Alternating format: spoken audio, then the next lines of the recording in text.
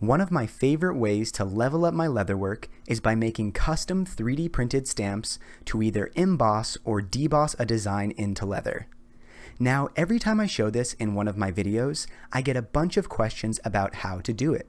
So today I want to show you my whole process from start to finish.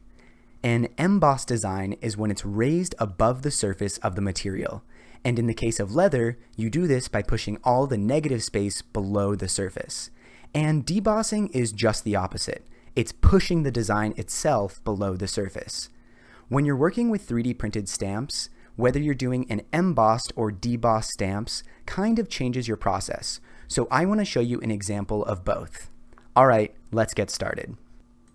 So I'm going to start with a sketch on the XY plane and just create some text. And let's just type out emboss. This will be the embossing example. Gonna find a font that I like. The cool thing about making embossing stamps is you can choose relatively complicated designs that have really skinny elements. So I'm going to choose a font that's a little more on the complicated side. Maybe something with some serifs. And I'll increase the text height to half an inch. Alright, so I'll hit OK on that. And then I think we want to add some simple border to this design. So I'm just going to create a rectangle and we'll add a fillet to the edges.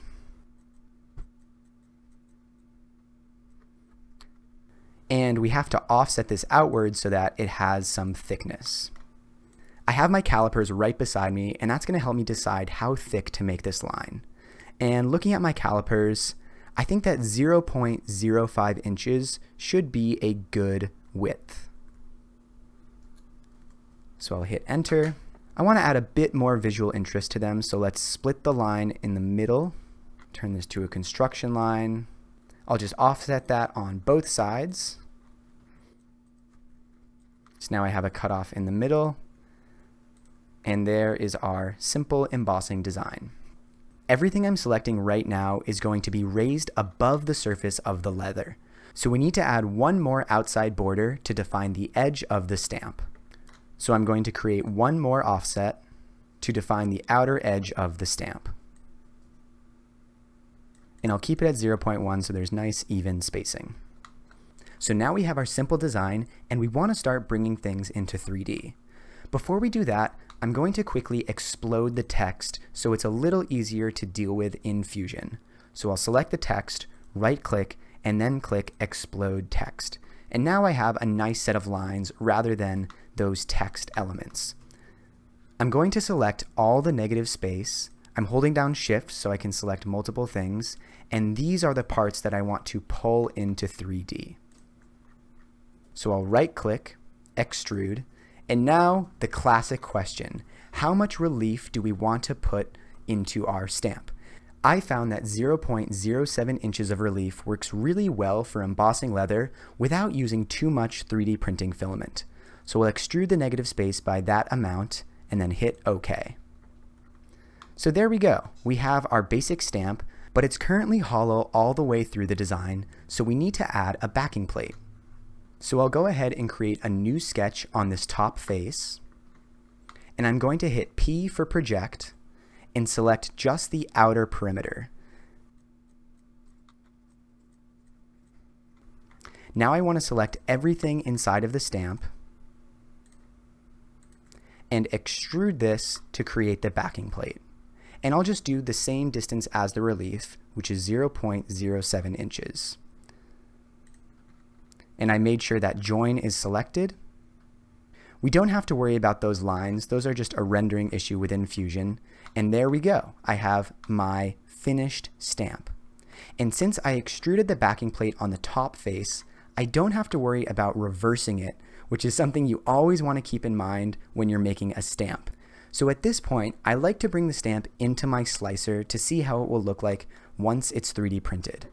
So I'll go to File, 3D Print, select my stamp, and I'm going to bring it into Prusa Slicer. So the first thing we have to do is put the stamp on the face of the backing plate. We see that it's reversed correctly. and I'm going to change my infill to 100%. The stamp is going to be under a lot of pressure, so it's really important that it's solid all the way through. I'm just printing it in generic PLA, and I'll go ahead and slice it to see what it looks like. So if I zoom in on the stamp, I can see that all of the detail is captured.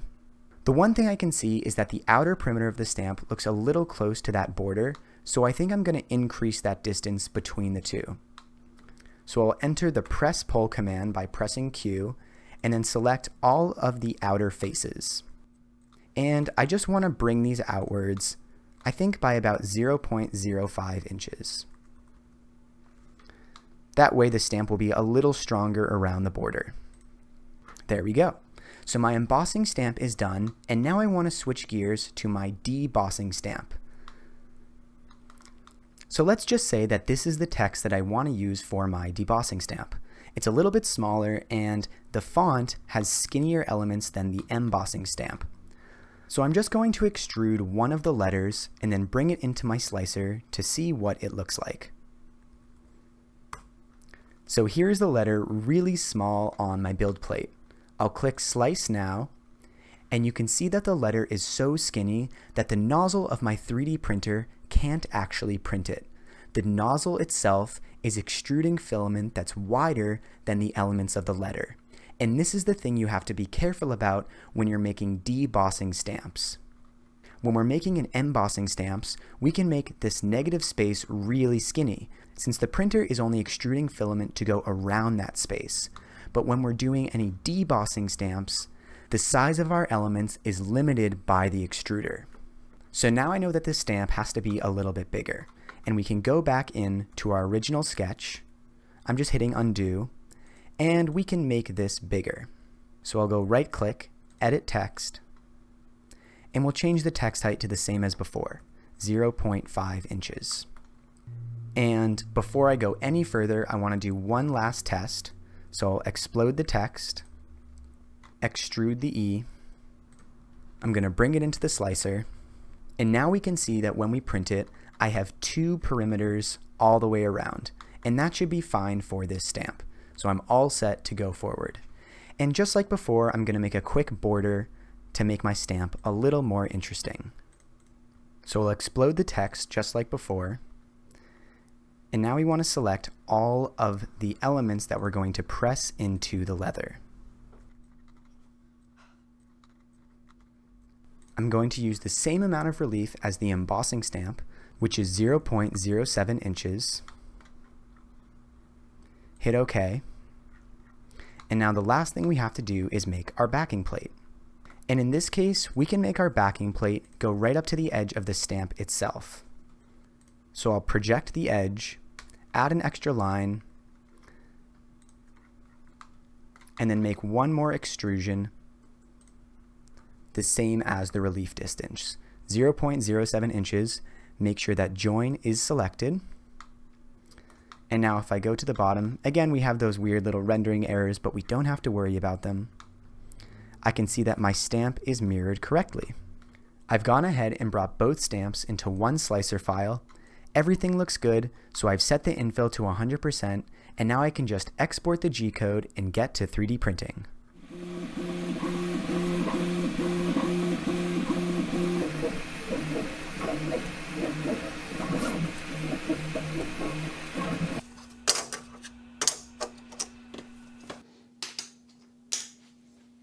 The stamps look super clean right off the printer, but the top face does have a bit of that 3D printed surface texture, and if we don't sand it down, it will get transferred to the leather. So I'm just gonna give the top face of each of these stamps a quick sanding with 220 grit.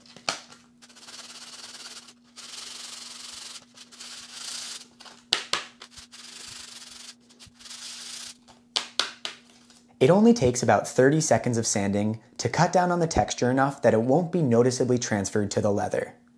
If you have a Prusa, this is a great opportunity to use the ironing feature, and in that case, you probably won't have to do any sanding. But not everyone has a Prusa, so I wanted to show this in the more accessible way. I also like to use my ice pick to get rid of any little strings or other 3D printing artifacts that could impact the clarity of the stamping.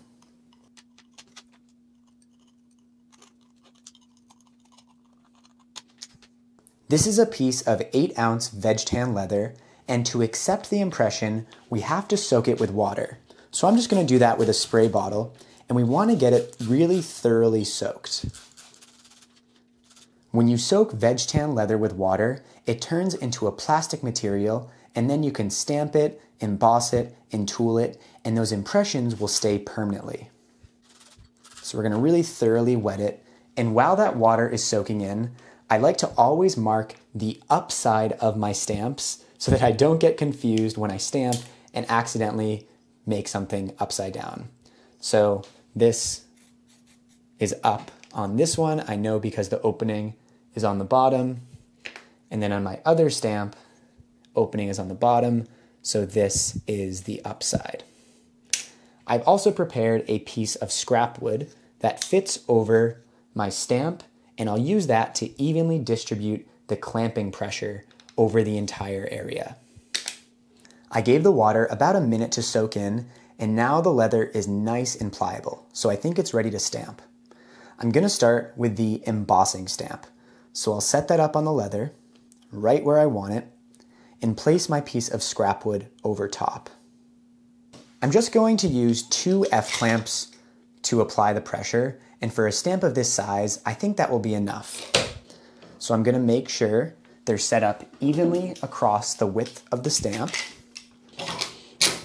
And when you're doing an embossing, you want to apply a lot of pressure.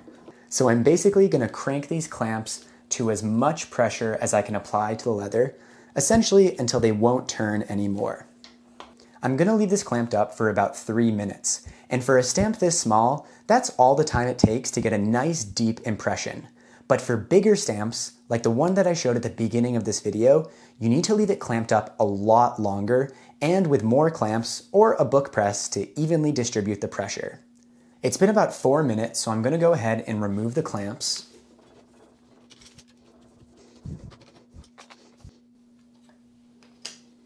And there we go. Beautiful impression. Now, since the leather is still in a plastic state, we want to be really careful that we don't bend it too much because that could mess up the design. Now I'm going to set up the debossing test right above and clamp it in place the same way as before. You don't have to apply quite as much pressure for debossing since the contact area is smaller. In fact, since this stamp has such thin edges, you want to be careful that you don't apply too much pressure because it might even cut through the leather or thin it out so much that it becomes weakened.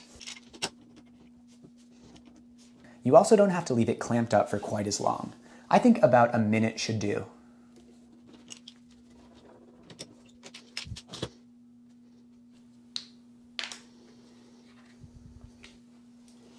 So there you have it an embossing, and a debossing. As I mentioned, this is one of my favorite ways to customize leather, and there are really infinite possibilities with these 3D printed stamps. I hope you learned something from this video, and let me know if there are any other Fusion tutorials that you're interested in seeing. Thanks for watching, and have a great day.